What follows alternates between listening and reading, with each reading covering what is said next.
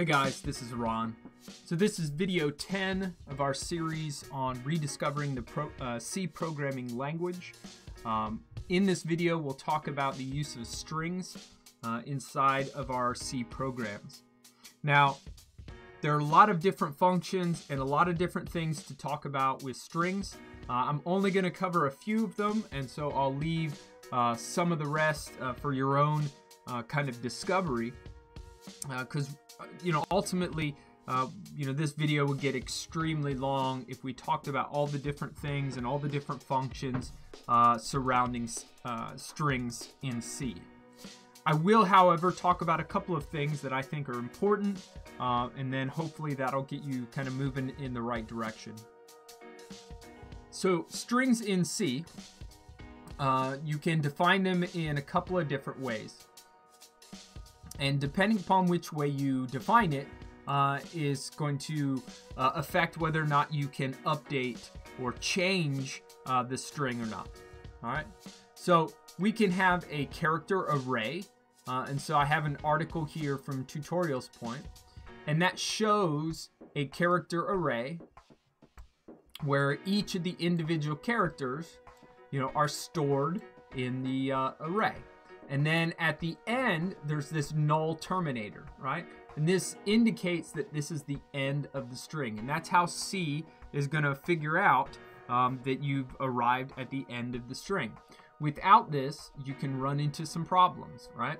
And so we always need to take into consideration whether we've allocated enough space uh, for our null terminator, whether uh, we overwrote our null terminator. Lots of different things can happen. Uh, and if that is not there, you know, you can have some pretty unexpected results. Now, additionally, we don't have to necessarily define uh, how many uh, characters you're going to use C can figure it out. When it compiles it, it knows that, okay, if you need to store hello, uh, I also need to allocate space for the null terminator, and it'll do so, okay? And then you can just, you know, work it just like you would a normal array where you can uh, allocate uh, or index into the various characters, starting from zero and heading out, right? And so in this article, they talk about a couple of different uh, functions uh, that you might see. Now, I want to note that the functions that they use, you shouldn't use, right? So there's stir copy. Well, in my document, you know, I have strcpy, but you should really be using strncpy, right? So the difference being is that this one, this version of it, so if there is an N version of it, or an N variation, whatever you want to call it, you should probably be using that one.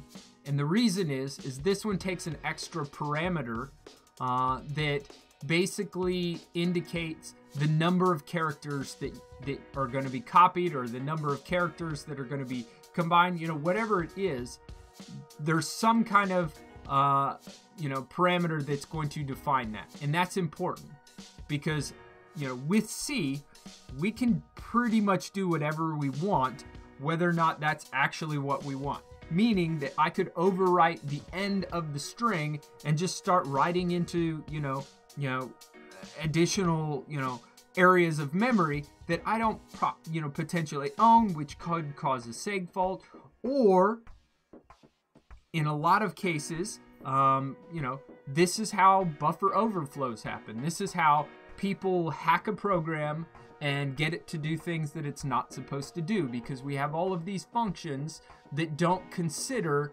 um, don't consider how many characters they're copying uh, and whether or not what they're copying it into can actually hold that many characters, right? So this is a huge gaping vulnerability, you know, potentially in your program.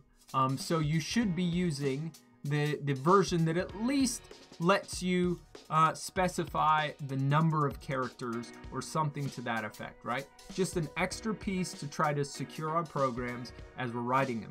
So it's really easy, really, really easy to make a vulnerable C program uh, when we start working with C, when, or when we start working with strings and, and copying data in and out uh, of different memory areas. And so I implore you, if you can use the n variant of the function, use the n variant, right? So strlen's not such a bad one.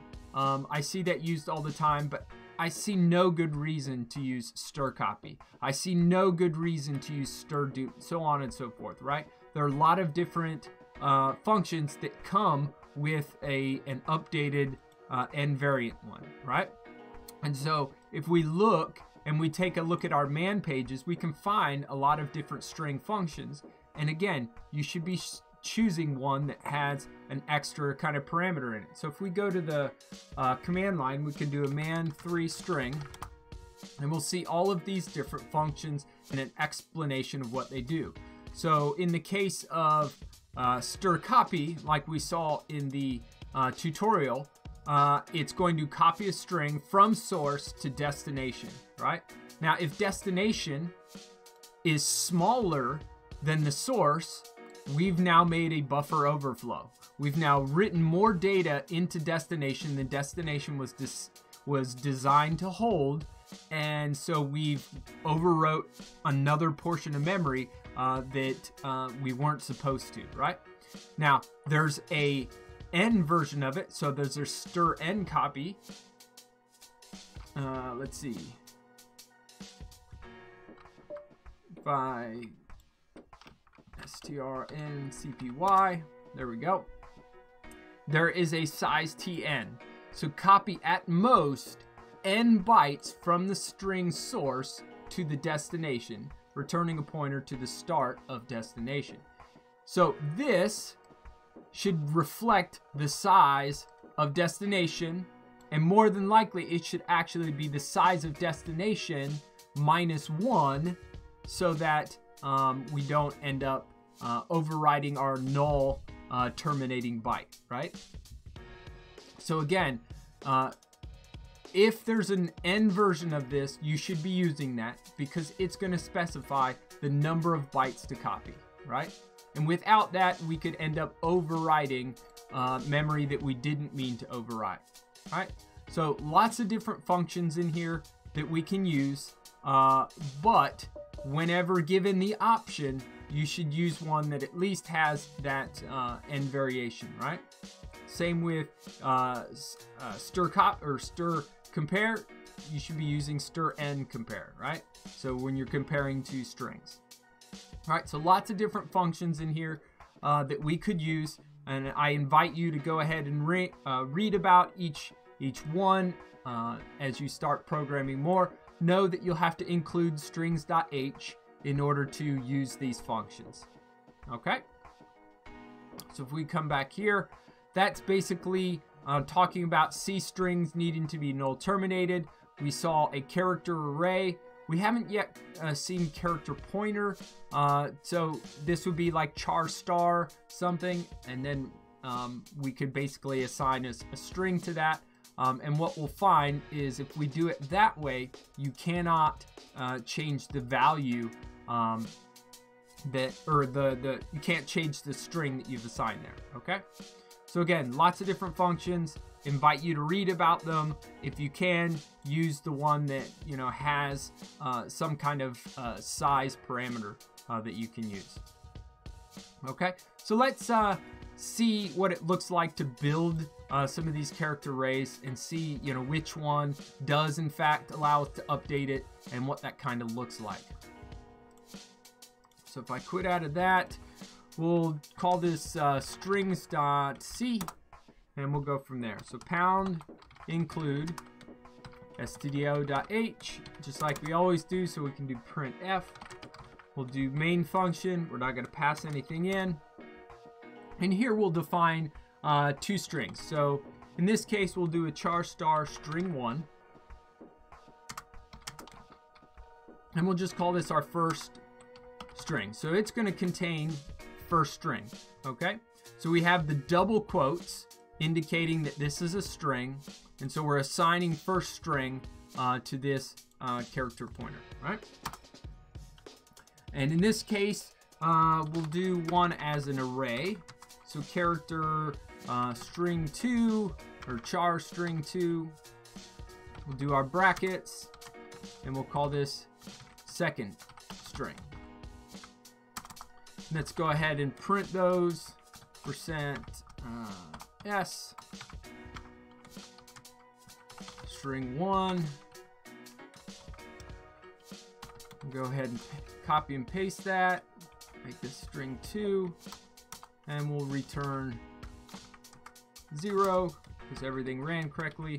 And we'll write it. Okay, so all we've done is define string one and string two. This one we uh, defined as just a char pointer. This one we define um, as um, you know a character array, right? Both of them contain a string, and we'll be able to print both out. So let's go ahead and compile that. And we see it does in fact work. Okay, so let's go ahead and try and change a value, right? So if we did uh, string 2, and let's say um, we're to change the first character, which would be 0. Um, we'll make this one just a capital S, all right? All right, and now if I yank that, paste it, we should be able to print out two. So we recompile, run it, and so in fact we have updated our string. Okay, cool. Too easy at this point. Let's give it a try and try to change the first one.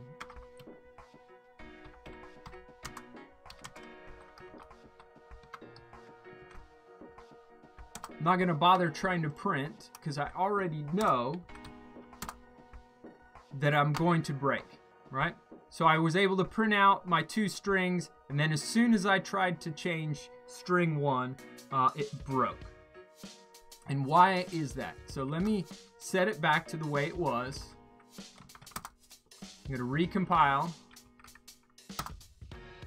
Should be able to run it. Everything runs correctly. So I'm going to use a couple different programs to kind of, you know, tear this apart a little bit. So XXD is a program that allows me to um, allows me to basically tear apart a binary or really anything for that matter and it displays the individual bytes of the program the memory uh, location that, that that's in uh, and it also displays you know some ASCII stuff here to the side. So if we uh, use grep so we're going to pass this to grep and look for first We'll see our first string is there. What about second?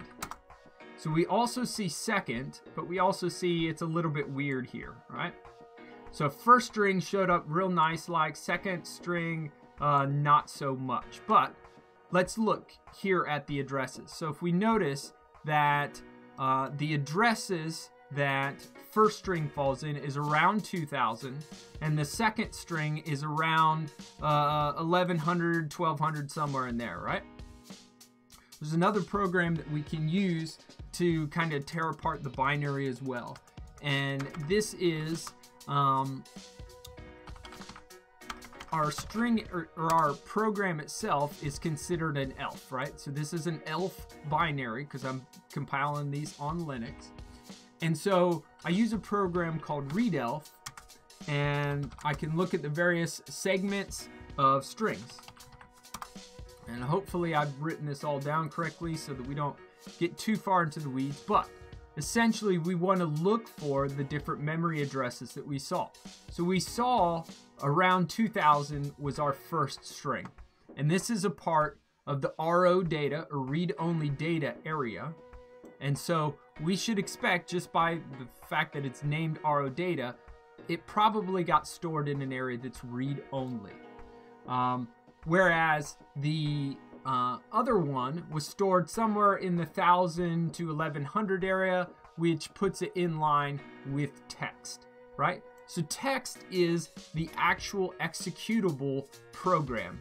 And we know this because this portion is executable and and by the naming .text, I know that this is our actual code that we wrote for the program.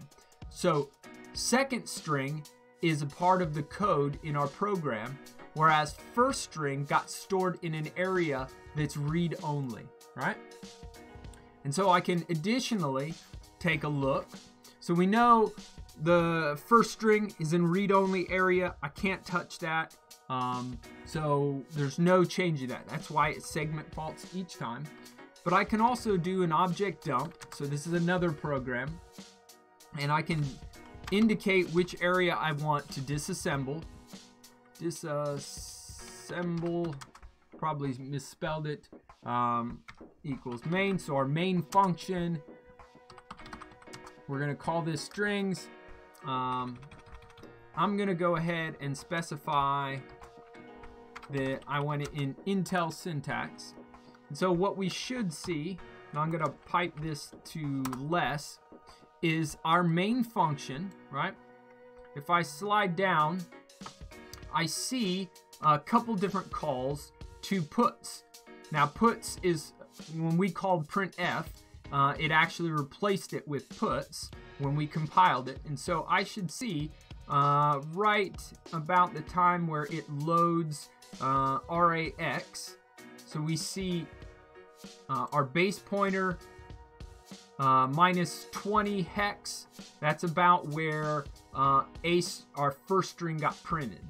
Then we printed here as well. So this should be first string because this is the first call to uh, puts. And then now we're loading in um, RBP minus 16 hex uh, into RAX and then column puts, puts again. So this one should be um, where our second string is stored. And we can validate that. Uh, we see RBP here getting loaded with RAX. So here RAX got loaded. So if I take this, and what I think is pretty cool is I can copy that and quit out of here. and go into Python just because it's easy and I can import binascii and I can take a value I'm going to store it as a bit string. I'll copy that value in, getting rid of the 0x.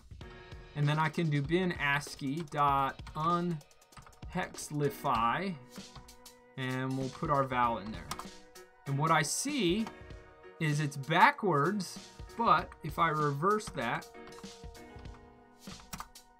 we see the beginning portion of second string, right? and it's backwards because you know I'm the the typical machine nowadays, like your home computer, this and that. These are uh, little endian machines, and so it actually writes the bytes backwards, right? XXD was nice that it automatically puts it into a format, you know, when it displays it on the screen, so that it makes sense. But when we were looking at that raw uh, code, it's still in that um, in that uh, little endian format. So everything is backwards, right? So we can see that our program itself loads the second string, which tells me, especially because it was, you know, the place it was loading it was RBP minus, you know, something. So it's stored on our stack within the program. So the main function has a stack. And so it's loading it onto that stack, which means I can change it because that's an area of memory that we can update, right? So in our program, this is why we were able to update string 2, but we're not able to update string 1 because string 1 exists in an area of memory that um, that is read only, right? I found that cool. I'm sure somebody, you know, who's watching the video would say, okay, that was dumb. I didn't need to know that. But I found it helpful as you're starting to debug things. You know, why does you know, why can I update this one but not update the other one? And when you start digging in under the hood, you start to find out, okay, well, one got stored on the stack, one got stored in an area of memory that's set as read only.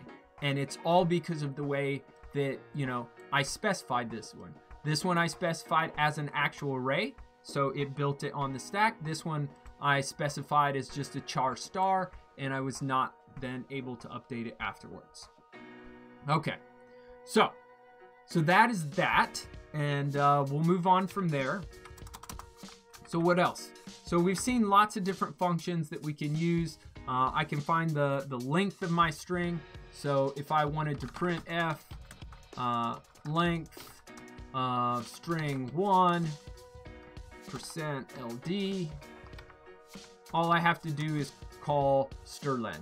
Strlen, right? And I can specify string 1 and if I compile this one, so quit out of Python,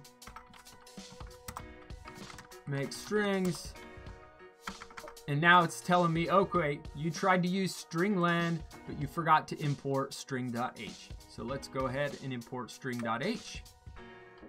Pound include string.h. I'll write that. Go ahead and recompile and it works. So I can see that string one is 12 characters. And if I look back, I got 1, 2, 3, 4, 5, 6, 7, 8, 9, 10, 11, 12. So that works. Now let's go ahead and change this to string 2 because I want to show you something. And I'm going to specify another string. This one is the third string. And I'm doing this because I want to show you how you need to be careful about your null terminators, right? So we have string 2, um, and I'm to go ahead, actually, let's do it with string 3. So tested this out a little bit ago, so hopefully it works again. But I think it drives home the fact that, okay, we have these null ter terminators and we need to be careful with them, right? So I'm looking at string 3 here, and string 3 has 12 characters, right?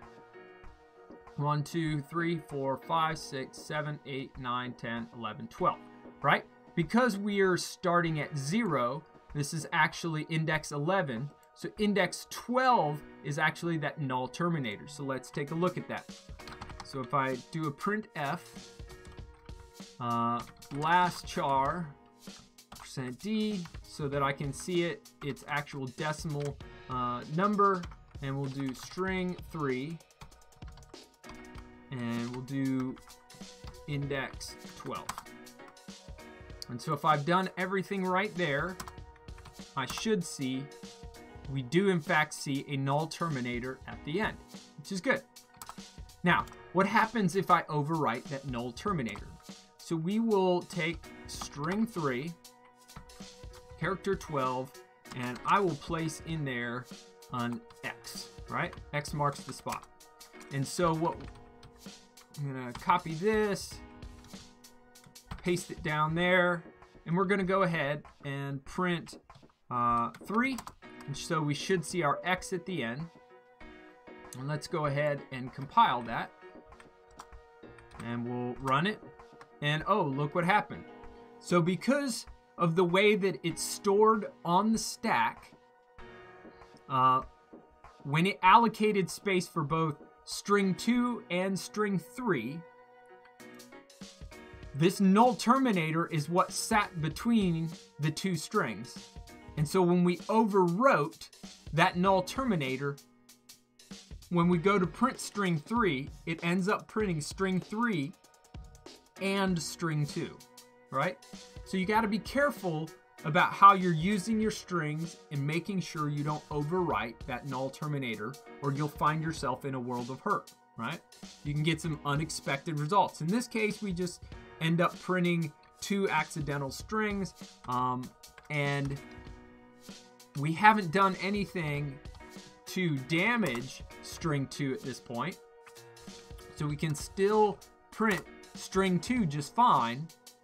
But string 3 is definitely, you know, kind of messed up when we try to use it correctly, right? So now if I did a strlen on this, it wouldn't give me uh, 12. It would end up giving me, you know, probably 24, uh, 25, you know, uh, characters, right? And so again, Pay attention to your null terminator, uh, or you could find yourself in a world of hurt. Now, there's another thing, again, and I pointed this out before, is making sure you're using safe functions. So we had um, stir copy and we had a stir end copy. So if I did stir copy and I put string 3 in here, but then instead of uh, passing it something that's going to fit, um, I could end up doing something like this string is much too large. This might actually even break our program, so we'll find out. That might actually be way too large. And so what's going to happen is it's going to try to fit this whole string in string 3, overriding string 2 in the process. And so if I uh, go ahead and copy these, oops, if I go ahead and try to copy these and put them in here, I'll go ahead and compile. And already it's throwing some some errors. So, ooh, I'm trying to write 29 bytes into region size uh, 13, so it's already seeing that there's going to be an overflow, right? Now, had I um, not had any warning flags turned on, so if I was just straight using GCC, tac O strings, strings dot C,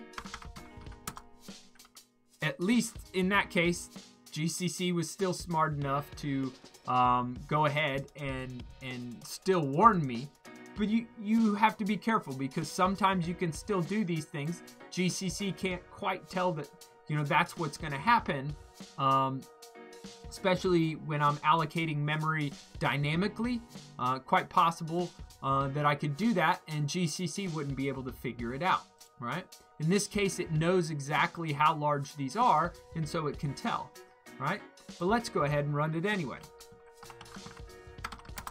And in my case, it was too large, and it detected that because I I uh, uh, I broke my stack essentially. Right there, there's a little canary that it puts on there to try to detect um, an overflow where you may be trying to overflow a return address. And if that canary changes, it says, hey, stack smashing detected, and it terminates the program.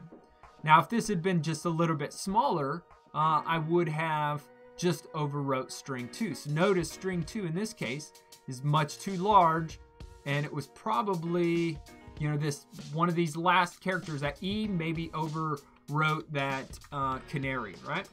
So if I uh, got rid of this, is large, right? This string is large. And I compile that. It does sense an overflow, but this time it doesn't overwrite. It's not big enough to overwrite the canary, but it's definitely big enough to overwrite string 2. Okay?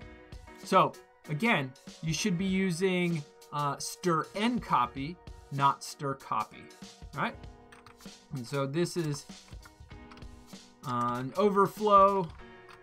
This is overriding uh, null terminator. And these are all things that C allows you to do. So if you're, you know, not paying attention, um, not um, putting some kind of protection in there, uh, you're definitely going to find yourself in a world of hurt. Right? Um, let's go and see if there's anything else we want to cover. There are times where you're going to want to use a couple extra functions. Uh, I wanted to point them out.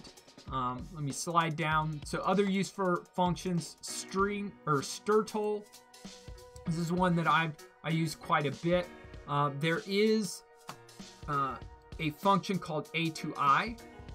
So if we look at that, man, a to i, it says convert a string to an integer, right? Um, you can use this, um, and I don't even see that in here it says not to use it. But A2I does not detect errors, right? And so I would not invites you to use this. So it does indicate that you should probably be using strtoll. Um, I think in my man pay or in my thing, I put two L's. It's probably just one L. Um, that's probably man strtoll. Maybe that's to long long. Yeah, so that just makes it a, a longer integer. So there's strtoll and there's strtoll, which is a long long. So you can fit an even larger number. This is the version that I would use, right? So it creates a long long int instead of just a long long int. But either one of these is definitely going to be better than atoi. And the reason is, is there's a lot, lots of different things that you can detect in here. Um, so you can specify a base. Okay, I, I, want base 10 for you know a decimal number, right? So that's useful. And then you can keep track of uh, the string that you're passing in. Um, and let's see, I think NPTR. Let me look at this thing. NPTR. Function converts the initial part of string in NPTR to a long integer value according to the given base, which must be between 2 and 36 inclusive, uh, or be the special value 0. The string may begin with an arbitrary amount of white space as determined by is space, followed by a single optional plus or minus sign if base is 0, so you can kind of walk through this, but essentially we end up passing our string in uh, for this first value. But then we also uh, point in a pointer to a pointer. And essentially, this is going to be, it's going to indicate where it stopped um, in NPTR. So in our string, there might be digits with maybe a, a letter in there, right? So it's going to try to do its best to convert the beginning portion into a number. And if it doesn't, if it stops uh, at some point, NPTR will point to that stop or that point where it stopped in the string, right? So that's one check we can finally do. Hey, did it get to the end of the string? Um, and if it didn't, we know there were some extra digits in there that were not or there were extra characters in there that were not digits, right? Additionally, uh, there are there is some error detection going on. So if we look at the return value, let's see, function returns the result of the conversion unless the value would underflow or overflow, meaning you know uh, if the they specified a number that was too large for us to store. If an overflow or underflow occurs, meaning it's too negative, uh, returns long min. If an overflow occurs, strtoll returns long max. In both cases, errno is set to E range. So again, there's some error handling that we can do. And if memory serves me right, they have an example down here of using uh, strtoll to convert some numbers. So yeah, they're using A to I up here, but later on they actually use strtoll uh, in one of these. Uh, probably passed it right there. So strtoll, their string, end pointer. And so this end pointer is just a char star. So they start out with a uh, character pointer and they pass in the address or the address of that pointer. So now you have a pointer to a pointer. Their base is base 10. Uh, should be. I think they're converting to 10 here. So they're trying to determine a base, which they're specifying from the command line. Um, or they set it to 10, right? So if they don't specify anything on the command line, they're passing in a 10. So we saw this kind of syntax in some of our early videos uh, where it's a ternary operator with the question mark uh, and the colon there. Either way, it should be, you know, passing that in, and that's what they're passing in as the base. And so this val should be, you know, what actually comes out. And then they do some error checking down here. So first they check to see if errno was set to E range. If it was set to E range, they know that it was either under or over, meaning they specified a number that was too low or too large, so on and so forth. And then they even check, uh, let's see, NPTR. So they check NPTR and see if it's equal to uh, the string. If so, no digits were found, right? So it stopped at a character um, and, and didn't work.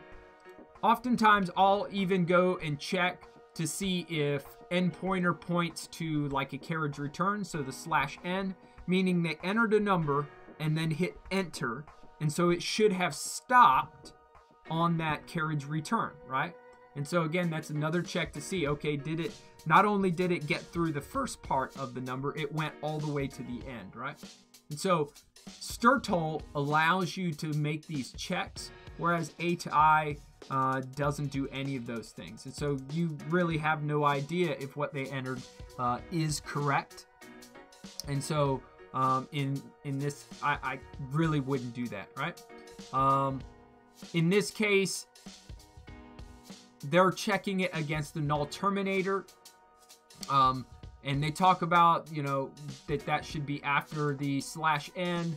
Um, I think that's what they're saying. Either way, they're checking for because you're passing in a string. String should be null terminator, uh, so it should be you know null terminate at the end.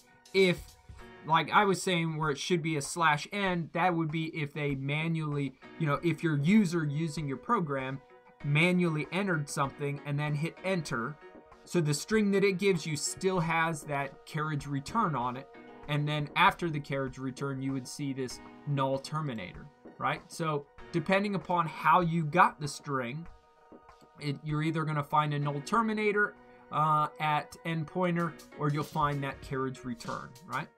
Um, but again, I would use strtol over uh, atoi any day of the week, right? So what we can do, um, let's see, what time are we at? I'm showing we're somewhere around 37 minutes. Um, I'm going to move on from strtol because we're pretty late in here. And I just wanted to bring up there's ways of getting input from the user, right? So you see a lot of old code. Well, hopefully you don't see it anymore. Uh, using something called fgets. Uh, you'll see a lot of old code use. Well, old code really is probably using gets, and this is this is terrible. If you look at gets, this is kind of like uh, what I said before, where there's certain functions you shouldn't be using, and gets is definitely one of them. So if I do a man on gets, this is how we get a string from standard input. Notice it's deprecated, and notice it also says never use this function, right? So just like we talked about with where we can use strcpy and end up overwriting our string and writing into memory that we didn't intend to do. Because there's no check in place upon how much data we're going to copy, gets is going to take whatever the user types in, right? And so, you know, you have no idea if they're going to write 80 characters or they're going to write a thousand characters it's just going to take it and it's going to dump it into whatever you put in this char star, which is definitely going to lead to a buffer overflow of some sort. So never, ever, ever, ever use uh, this function, right? Instead, there's there's other functions out there that we can use, such as fgets, getLine, getC, or getChar. You can even use scanf uh, to get uh, to get input, but this is another one that you have to be careful with scanf. Uh, so if I do a uh, man on scanf, uh, it is essentially you're going to take a format string. So just like you saw with printf, where we had like percent %d, percent %s, you know, those sorts of things. Well, you can build something like that, and when the user types it in, it's going to place it in those things that line up with the percent %d or the percent %s, right? Um, and so if you're not careful there, you can also cause an overflow. Now there's ways of building these format strings so that it'll only take uh, five characters or 10 characters or whatever. In our, um, we did a video on let's see. It would have been one of our video 8 arrays and pointers. In that video, I did a uh, a uh, multi-dimensional array, and we ended up building like a times table. Well, in order to specify the width that I wanted each um, uh, number to print out as, I did like 3D, and that meant hey, make sure there's at least three spaces here so that everything is spaced out nicely. Well, you can do that with strings too. You could do percent 50s, meaning that I'm only going to take 50 characters when they um, do uh, when they input their their string, right? And so that's one way that you can kind of clean it up. But again, if you you know mess this up, you could end up hurting yourself in the end, right? But like I said, there's there's lots of other functions that you can use, like fgets or getLine. So if we do m man of fgets, and we can see the fgets uh, input characters or input of characters and strings, right? So fgets is going to take a string. Uh, you can specify a size, which should be the size of this thing, right? And then where are you getting it from? So in our case, like standard if. So if we look at fgets, it reads in at most one less than size characters from the stream uh, and stores them into the buffer pointed to by S. Reading stops after an end of file or a new line. If a new line is read, it is stored into the buffer. A terminating null byte slash zero is stored after the last character in the buffer, right? So Again, it's going to read in at most one less than size so that it can store this uh, slash zero uh, in there as well. So it's making sure that it can store that null terminator in here. So what does that look like? So if we quit out of this, uh, let's do uh, get input and we can pound include stdio.h and let's look at the man page. It says we only have to include stdio.h in order to use uh, fgets. In main, we're not going to pass anything in. Let's call this char buffer and I'll put 50 characters in there and I'll just go ahead and close it out. So I haven't initialized it at all. So it could, it right now essentially has garbage in it. But what I can do, uh, if we look at how to call fgets, we can copy this. I'll paste that in and we'll just update it. So it's going to return something pointed to character array. So what I could do is char star temp and I'll say temp is equal to fgets. We'll pass in our buffer. Because we specified our buffer uh, here as an array, uh, and we're in the same function where it was built, we can do size of buffer. Otherwise, I can just put that 50 in there. And where am I getting it from? I'm getting it from standard in, so if I print f, I can do uh, percent %f, or not percent %f, percent %p, and I will see, well, let's just do it as percent %s. So we'll do our actual string, and I'll do this as our buffer, and percent %s, this is temp, turn zero. All right. So if everything works right, what did we call this thing? We called it get input. So we can do a make get input. And I can run it and automatically it waits, right? So it's waiting for my input. This is a test of the em emergency broadcast system. Hopefully I've got, you know, roughly 50 characters there. Well, apparently I had uh, under 50 characters, right? So it took the entire thing.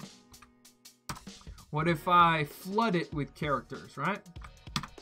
So notice this time, it only copied up to it was about to overflow that buffer. It put the null terminator in there and moved on, right? And so both our character uh, and our uh, buffer, or the buffer and the temp all point to the same thing. So why does temp exist? We do man fgets. I'll look for return. Uh, let's see, return value. fgets returns s on success. So basically, it's going to return uh, the the string that it just made, and null on error or when end of file occurs while no characters have been read. So let's try that out. So if I run our program again, I can hit Control D, and that sends essentially a um, an end of file.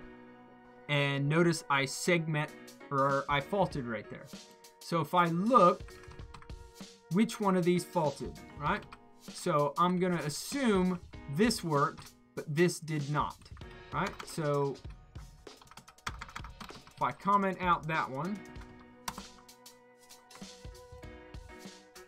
and I re, uh, yeah, make get input. So it tells me that I'm not using temp, which is fine. I'm gonna run it again. I'm gonna hit Control D. This time it works and it doesn't segment fault. The reason it's pretty garbage again is because, well, I didn't initialize it, right? So if I initialize it with just a zero, so now that buffer is full of zeros, I'll make get input and I'll run get input. I'll hit control D and it works correctly, right? The reason this seg faults is because I'm trying to print temp. And right now, temp points to a null value, right? So what we can do is we can do something like this. If null equal to temp, f print f I'll extend this to standard error. So we saw this function in our uh, one of the previous labs, probably reference and values. So lab 9. Uh, we're to just say uh, no input received, right? Let me do that. We'll close that out. Close that. Else, we'll print our buffer. All right, so all we've done is we tested temp to see if what was returned was null. So null. If so, we print out an error. Otherwise, if there's actually something here, we know that buffer got filled, so go ahead and print it out. So we write that. I'll go ahead and up arrow, recompile. We'll run it. Does it still work? This is input. Yep, that works. If I run it again, this time I'll hit Control D. No input received, right? So there we go. So that's one way uh, to get uh, get input. Now, one thing I do want to point out, and it's getting really late in the video, is that the inputs uh, or standard in is a buffered interface. And so if we ended up trying to write more into buffer than what, uh, you know, if the user put more characters in than we were willing to accept into buffer, then they still exist in standard in. Which means if we were to do something like this, and uh, we'll do this line again, And we'll go ahead, we'll just basically copy the whole thing over again. So we're essentially gonna try to get input again and write it again, right? So you would think it would prompt me a second time. So if I make input and I'm gonna run it. So test, okay, that worked. Test two, that worked. Okay, cool. But what happens if I write more input than it was expecting? Well, notice here my program stopped because I got all of the input. It took the first 50 characters or so, or 49, and put those into buffer. And then it went back to read again. Well, there were already uh, bytes sitting there waiting to be read.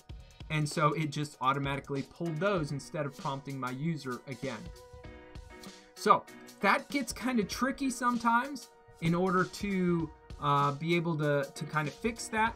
Uh, I'm not gonna go over that in this video because I'm already over 50 minutes 50 minutes but there are a couple articles out there. Uh, this happens to be one that I stumbled across just kind of playing around. They talk about using poll select or IOCTL in order to detect whether there are still bytes there ready to be read. All right and so if that was the case for me I would do something to the effect of um, if I knew that there were bytes there, right? And and I did it via testing out in some way, shape, or form, like they kind of talk about. You could do something like this. Uh, while, let me specify.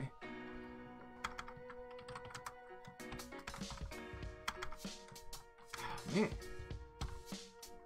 We'll just do a character garbage. Alright. And we'll do this as garbage equals get C. So get get character. So uh, man get C. Uh, it's going to take a file stream, so we can put standard in again. Uh, is not equal to um, let's see, EOF, uh, and garbage not equal to uh, slash zero. So it's either, you know, the end. It's probably, EOF is probably all I, all I need. I want to go all the way to the end. Um, actually, probably end. So this is when they hit enter, right? So while that is going on, I'm essentially just going to put a semicolon there. And so it's just going to keep looping there, reading character by character and dropping it in garbage until it gets to EOF or it gets to a uh, carriage return character. So what does this look like? So not not the greatest implementation, um, but make get input. Okay, so we'll run it again and we'll see test, test two, test three. Okay, so it kind of broke our program. Uh, didn't quite work the way I was hoping. Uh, so let's put a test in here. Uh, let's say if strlen of um, buffer is equal to, um, what is our max buffer size? 50. It has to have the null terminated character. So if it's equal to 49, we're going to just make the assumption that they overwrote the end of the buffer. Now, they could have wrote 49 characters, and so this is again going to break our program, but what I'm trying to get you to see is that if you were to go through tests, see that there's bytes there waiting to be read, you knew they overflowed and you could do something like this. Because I'm not testing it, I'm just going to make the assumption that, hey, if there's at least 49 characters in the buffer, it copied as much as it could, and there's probably uh, input waiting. Okay, now I got to bring in string.h. All right, so this is getting a little crazy. Pound include string.h. We'll go ahead and write try to compile again. This time it takes it. So we'll do test, test two, and it works, right? So this time it did a strlen on test and said, okay, well, it's definitely not uh, 49. So they're, you know, they didn't override it. So that's good. But if instead we know that they override it, okay, well, this is, this is good. It stops. So test two and it works, right? So what it did was it copied the first 49 characters into buffer. It tested to the length of this buffer, said, oh, it is 49. So it read in all of the additional characters into garbage one by one before proceeding on to prompting for the next one, right? So little tricks you can kind of put in place. Again, this is a probably a terrible way of doing it. Um, you really want to go ahead and test, um, but uh, I'll leave that one up to you uh, as I haven't tested this one out. But that is a problem that people have obviously conquered. Um, and so uh, if you run into it, a little bit of Googling, you should be able to come up with a solution. So if I go back, I think I've covered just about everything. Uh, lots of string functions we can use. I would use strtol over an atoi. Uh, there is strtok, which is tokenize a string. So uh, let's say this is the string I have, break it up. I can break this into three different strings if I passed in that I wanted my uh, delimiter to be that space in between them, right? So uh, if you're used to Python, Python has a way of uh, string.split, and you can specify the character you want to split on. This is very similar to that, except for this will destroy your original string. So the first time through, it will return break, and it puts a null terminator there. Then you run it again, it'll return it, because it put a null terminator there. And then the last time through, it it will send up, right? And so you end up getting, uh, you loop through it and get three different strings, but your original string is now broke because it essentially replaced these with null terminators, right? And so I invite you to read about string toke. So you might copy the original string into some kind of temporary string before breaking it up if you want uh, to keep your original. So this video has gone way too long. I knew it would, uh, and I apologize for that, but there's tons and tons of things that you can do with strings, and we only uh, touched, you know, the the just a, a, little little bit of that. But again, uh, long video, uh, and uh, I seriously doubt anyone is still listening at this point. So I'm just gonna call it quits at this point and uh, hope something was informative to you. I'm probably talking to myself at this point anyway. All right, take it easy. Bye.